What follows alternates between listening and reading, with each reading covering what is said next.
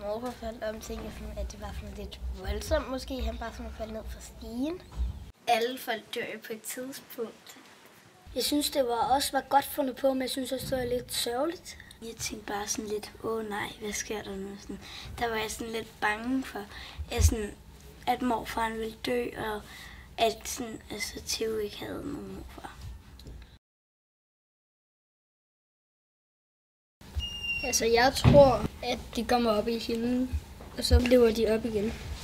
Altså, om når der er gået noget tid. Hvis de ikke var så gode, så tror jeg, de kommer ned i helvede i fængsel og alt muligt der.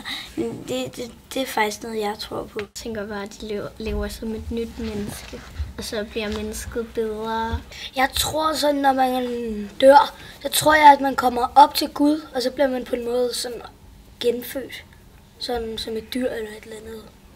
Det kan da også godt være, at man bliver til næbe, når man, når, når man dør. Det, det har jeg ikke lige tænkt over. Det kunne faktisk godt være.